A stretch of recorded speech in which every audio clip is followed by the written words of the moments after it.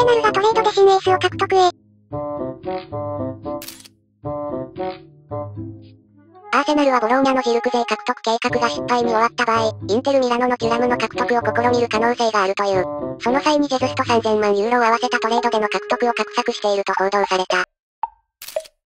さすがにこれは飛ばし記事な気がするなインテル側にメリットのあるトレードとは思えない。ジェズスを放出してまでテュラムを獲得してもそこまで結果変わらない気がする。ラウタロ・マルティネスなら話は違うけど。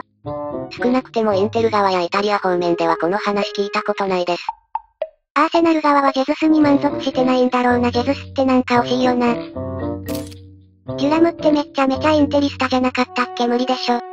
今季のラウタロとのコンビ見てるとどうしても2トップの一角というか圧倒的な FW が近くにいてこそ関係性の中で輝く選手に感じてしまう。